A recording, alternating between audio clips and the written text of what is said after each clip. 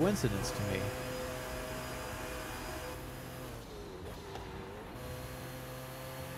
Well, bye, Max up.